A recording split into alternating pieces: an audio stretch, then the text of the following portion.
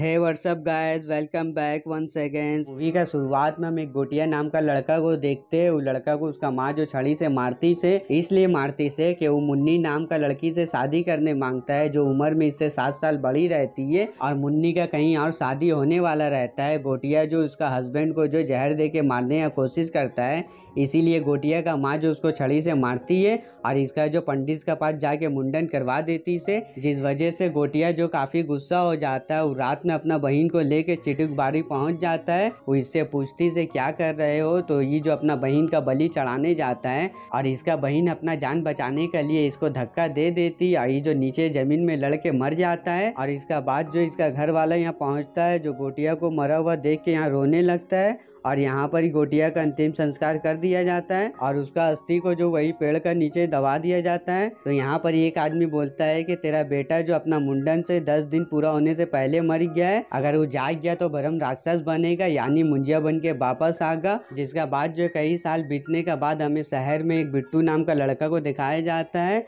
और यहाँ पर ही वो अपना माँ, पम्मी और अपना दादी का साथ रहता है और ये लोग तीनों मिल के यहाँ घर में खाना खाती से तो पम्मी इसको बताती से बिट्टू को कि बेला तुझसे मिलने के लिए आई से, जिसको सुन के बिट्टू जो खुश हो जाता है और बेला आके बिट्टू को पीछे से आवाज़ देती से, जिससे बिट्टू डर जाता है और बिट्टू को कुछ हॉरर विजन आने लगता है, जिससे वो जो काफ़ी डरा हुआ रहता है और बेला आके इससे हालचाल पूछती से और इसका बाद जो बिट्टू और बिट्टू का माँ, उसका दादी गाँव जाने के लिए निकल जाती से और इन लोग सब मिलके गाँव पहुँच जाता है और इन लोग को लेने के लिए रुक्कू आती से और इन लोग सब मिलके घर जाती से और फिर जो बिट्टू और रुक्को जो बीच में स्कूटी में घूमने जाता है तो सामने इसको जो चिटुक बाड़ी दिखता है, जिसको देख के जो बिट्टू का दिल में जो अजीब तरीका का ख्याल आने लगता है, और बिट्टू यहाँ पर ही डर जाता है, जिसको देख के रुको इसको घर ले आती है, और बिट्टू का चाचा अपना माँ को बोलता है, चिटुक बाड़ी बेच देने के लिए, कागज़ में साइन कर देने के लिए। मगर इसका माँ बोलती है की चिटुक बाड़ी नहीं बेचने के लिए, वहाँ शैतानी सकती है। ये सब सुनने का बाद बिट्टू यहाँ से अपना स्कूटी में बैठ के चिटुक बाड़ी का तरफ़ चल जाता है,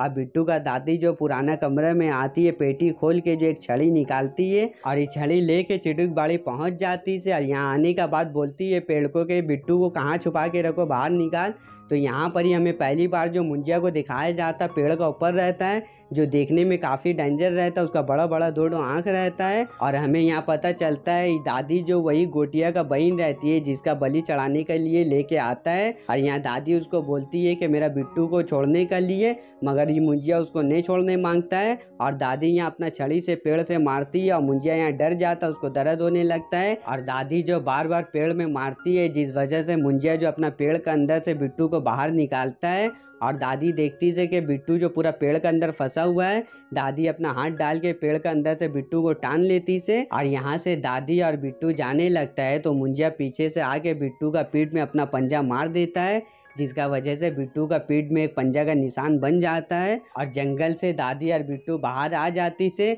तो अतनई में जो बिट्टू को कुछ होने लगता है, पीठ में जो अजीब तरीका का आग निकलने लगता है और दादी का जो पीछे जाके गर्दन तोड़ के दादी को मार देता है और यहाँ पर ही बिट्टू बेहोश हो जाता है। जब इसको होश आता है तो ये अस्पताल में रहता है और अगला सिंह में इसका दादी का अंतिम संस्कार होता है। यहाँ पर ही बिट्टू का चाचा जो इन लोग दोनों माँ बेटा को ताना मारने लगता है। जो सुन के बिट्टू का माँ काफ़ी गर्म हो जाती है, बिट्टू को लेके शहर आने लगती है और बस में जो बिट्टू का पीठ में तकलीफ़ होने लगता है इसलिए मुंजिया जो उसका पीठ में पंजा मारी था तो वहाँ पर ही जलने लगता है और बिट्टू का सामने वाला सीट से जो मुंजिया निकलता है और उसको देख के बिट्टू यहाँ डर जाता है और मुंजिया जो बिट्टू का साथ उसका घर में आ जाता है दिन भर तो सही रहता है शाम होते साथ बिट्टू का अंदर से मुंजिया निकलता है और यहाँ पर ही मुंजिया इसको बोलता है कि मुन्नी को ढूँढने के लिए उससे हम शादी करेंगे। और बिट्टू को जो खूब मारता है, डेली मारता है, जिससे बिट्टू जो काफ़ी परेशान हो जाता है, मुंजिया बिट्टू को धमकी देता है तुम मुन्नी को जल्दी नहीं ढूंढोगे तो हम तुम्हारा माँ को मार देंगे। और रात रात भर जो है मुंजिया को अपना पीठ में बैठा के गली गली में मुन्नी को ढूँढने लगता है। तो यहाँ बिट्टू अपना फ्रेंड को सब बात बताने लगता है। गाँव से जो जो हादसा इसका साथ होता है। और जब रात हो चुका था तो यहाँ पर बिट्टू और हैरी संग में बैठा हुआ रहता है। और यहाँ पर ही मुंजिया वापस आ जाता है बिट्टू को डराने के लिए। और यहाँ हैरी को जो मुंजिया नहीं दिखता है, मुंजिया को वही देख सकेगा जो उसका ब्लड लाइन से रहेगा। मगर यहाँ हैरी को एहसास हो जाता है, यहाँ कोई ना कोई है। और यहाँ पर ये लोग दोनों काफ़ी डर जाता है। और बिट्टू बोलता है कि मुन्नी ज़रूर मेरा गाँव से होगी। ये जल्दी से न अपना बहन रुको को फ़ोन लगाता है गाँव में, ताकि वो गाँव का लोगों से पता करके इसको फ़ोटो भेज दे। और मुन्नी का फ़ोटो देख के हैरी बोलता है, ये तो बेला का दादी है और अभी तलक ये ज़िंदा है। ये सुनने का बाद जो मुंजिया बोलता है कि अभी तुम उसका पास जाओ मिलने के लिए तो ये लोग सब मिल के जो आता है बेला का दादी से मिलने के लिए, और यही जो मुन्नी रहती है जिससे मुंजिया शादी करने माँगता है, मुंजिया जो ये बूढ़ी औरत को देख के मुंजिया का नीयत पलट जाता है, मुंजिया जो है मुन्नी से शादी नहीं करने माँगता है, और यहाँ पर ही जब ये लोग जाने लगता है तो बेला आ जाती है, और ये लोग दोनों एक दूसरे से बात करने लगता है तो बिट्टू का पीठ से मुंजिया निकलता है, और यहाँ पर ही बिट्टू जो जल्दी से भाग जाता है ताकि मुंजिया जो बेला को नुकसान नहीं पहुँचाए और यहाँ पर ये हैरी बोलता है कि आपको मुन्नी मिल गई है तो आप मुन्नी से शादी करने के लिए तैयार है। बताइए कब करिएगा शादी? तो यहाँ मुंजिया आता है, वो बोलता है कि मुन्नी ने, अब चाहिए मुझे बेला। बेला से शादी करूँगा, बेला को लेके तुम्हें चिटुक बाड़ी आना होगा, बेला का बलि चढ़ा के उससे शादी करूँगा। ये बोल के मुंजिया चल जाता है और ये बात सुन के लोग दोनों का होश उड़ जाता है कि अब जो बेला का जान खतरा में ये समस्या कैसी सही होगा? तो हैरी बिट्टू को लेके एक आदमी का पास आता है, ये जो भूत प्रेत से जो छुटकारा दिलाता है, खैर, यहाँ पर ये लोग दोनों जो सब बात एलवेज को बता देता है और यहाँ पर ही मुंजिया का नाम सुनते साथ जो एलवेज हरकत में आ जाता है और यहाँ पर ही मुंजिया का पूरा हिस्ट्री निकाल के इसको बताने लगता है कि मुंजिया कैसे बनता है और उसको कैसे ख़त्म किया जाता है। मुंजिया जो रोमियो टाइप का रहता है वो बेला से शादी करने के लिए वही पेड़ का पास बुलागा और मुंजिया को शादी करने के लिए जो एक बकरी के अंदर जाना पड़ेगा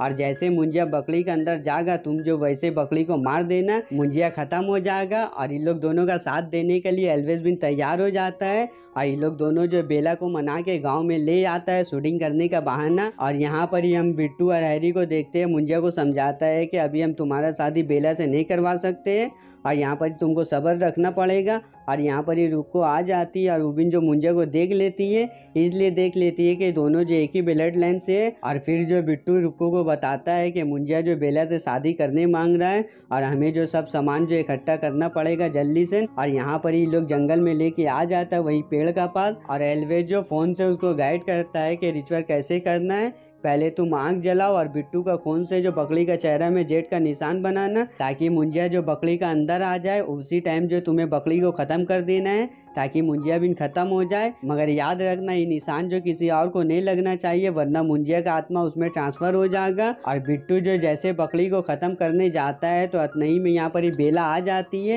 ये जो शराब का नशा में रहती है और यहाँ पर ही नाचने लगती है और बकरी को उठा लेती है और अपना चेहरा में भी वही निशान बना लेती है, जिसका वजह से यहाँ पर ये लोग तीनों का आत्मा ट्रांसफ़र हो जाता है। बेला का आत्मा बकरी के अंदर चल जाता है और मुंजिया जो बेला के अंदर आ जाता है और यहाँ पर ही बेला बेहोश हो जाती है और इन लोग तीनों मिल के जो बेला का पास जाता है तो बेला जो मुंजिया बन के उठती है, और ये लोग समझ जाता है कि बेला का आत्मा जो बकरी का अंदर है, बकरी को लेके यहाँ से भाग जाता है, और एलवेज बोलता है कि वो बकरी को अपना पास रखना, मैं अभी आ रहा हूँ, आज ही सबको सही कर दूँगा, और रास्ता में जो इन लोग को बिट्टू का चाचा दिखता है, वो जो इन लोग से बकरी छीन के लेके चल जाता है, और यहाँ इन लोग सब घर आ जाता है, बिट्टू जो अपना माँ को सब बात बताने जाता है तो यहाँ पर ही मुंजिया आ जाता है, मुंजिया को देख के सब मिल के डर जाता है, यहाँ से भगदड़ मच जाता है, सब मिल के इधर उधर भाग जाता है और यहाँ पर ही एलवेज भी ना जाता है। वो जो बेला के ऊपर एक भभूत फेंक के मारता है, जिससे बेला यहाँ पर ही थोड़ा देर के लिए रुक जाती है ये लोग सब मिलके बकरी ढूँढने लगता है। और बिट्टू अपना चाचा के पास जाता है तो ये बताता है कि बकरी को हम जवा करके खा लिए, लेकिन दूसरा तरफ़ जो है, हैरी को जो जंगल में वही बकरी दिख जाता है बेला बेला चिल्लाते हुए, वो जो बकरी को पकड़ लेता है